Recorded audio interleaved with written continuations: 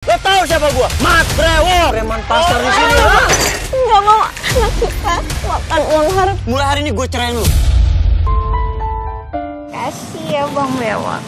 Bang codek aja, nggak usah Brewo, nggak ada untungnya. Santai. Berani lo ya dapetin bini preman pasar di sini, ah?